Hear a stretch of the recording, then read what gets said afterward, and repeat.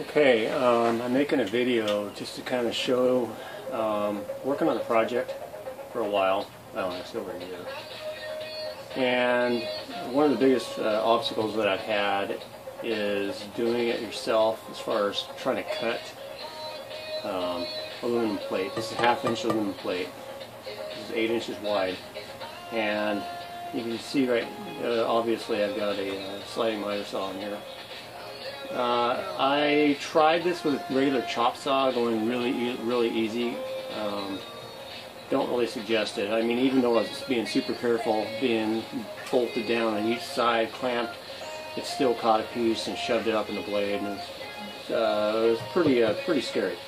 So, um, ideally on something like this, you want to use a bandsaw, but you really can't get a good, uh, good finish to it as far as uh, butting up an edge or whatnot. Um, so this is a solution that I came up with. Um, I've actually cut it quite a few pieces and I kind of decided before, I'm almost done with my project. I'm going to do one last cut. I need to shave an inch, or excuse me, a half inch off this edge right here to make the uh, to make my Z-axis fit uh, properly, or uh, somewhat largish. See router, hopefully a mill when I'm done. And, um, and you can kind of see the technique that I'm doing, and it's actually fairly safe you know, nothing super, nothing, nothing's perfectly safe, but I think this is about as safe you're going to get for doing this at home. Um, and you'll see why. And I'm going to take, I'm guessing about a 16th of an inch off at a time. And um, let's go ahead and get started. And it, like I said, it actually works really well. If this was any larger of a piece, I would have it clamped on both sides. Absolutely, even the, even using the, that technique that I've got. So um, let's go and get started. Let's go and focus it a little bit uh, closer and um, get going.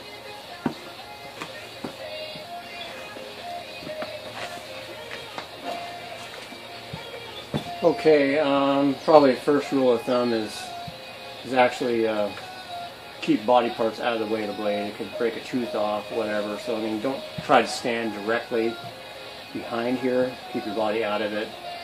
Um, so, uh, we're uh, obviously wear eye protection. Kind of a no-brainer.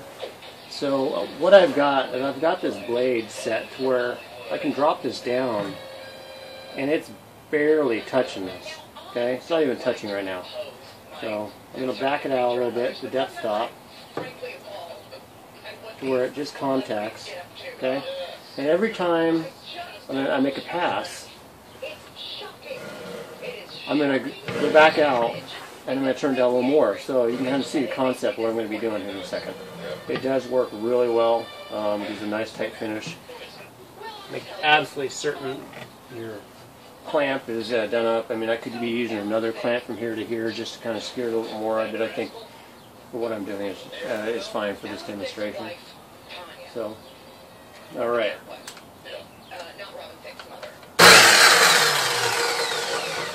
Got a little water here. Doesn't I don't need lubrication. Um, just kind of keep the blade cool a little bit. Probably doesn't even really need it at the, the rate that I'm going, but can't really hurt anything.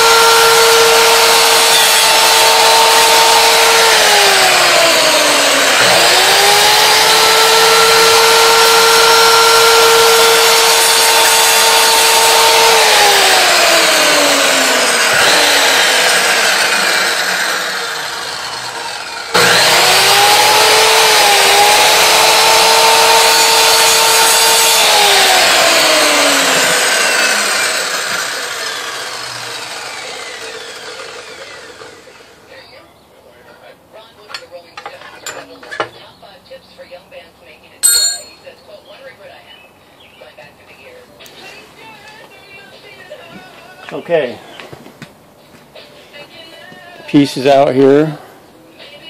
You can kind of see how clean it is. I mean, I'm running my finger down here. I mean, no sharp edges. There's real. I mean, this is nice and nice and clean. Even if I invert the factory edge right here, which is this one, see a nice, nice clean, nice and square. Um, as far as the ability to do this uh, this kind of work at home, just using a uh, sliding miter saw for $120 at you know at Lowe's. I think it was 119. Um, that's pretty pretty amazing. I've been using this about the last half of my project, fabricating little pieces that I needed for brackets or or mounts or whatnot. And this has been a pretty valuable tool. This is actually the only thing. Uh, I have a couple other saws, but this saw I've got set up only to cut uh, aluminum. It does actually have the factory blade it came with, and it's got a Kobalt blade. I probably shouldn't be turning this with thing powered in, but it's got a 40 tooth, uh, 40 tooth blade, and uh, that's a carbide tipped. You can buy the, the metal blades, but I'm, I'm doing it so slow and aluminum so soft. I, I'm really not. I don't think I'm taking a lot of chances with it. So um, if I thought I was, I'm watching the teeth and they are holding up real well. If I thought I was having issues with teeth or uh, things like that, I would swap the blade out, get a little bit better blade, and still continue to use it to cut aluminum using the technique that I've got, um, not a chopping motion. So, okay, um, thanks for watching.